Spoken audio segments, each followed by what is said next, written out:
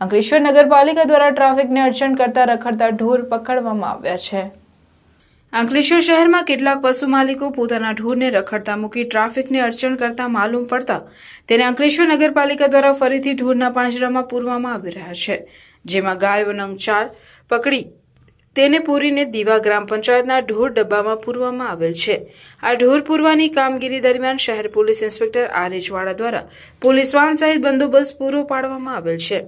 સદર હુકામગીરી અંકલેશ્વર નગરપાલિકાના chief officer Keshavlal કોલડિયાના માર્ગદર્શન હેઠળ સેનેટરી ઇન્સ્પેક્ટર રઘુવીરસિંહ મહેડા અને તેઓની સુપરવિઝન ટીમ દ્વારા કરવામાં આવેલ છે.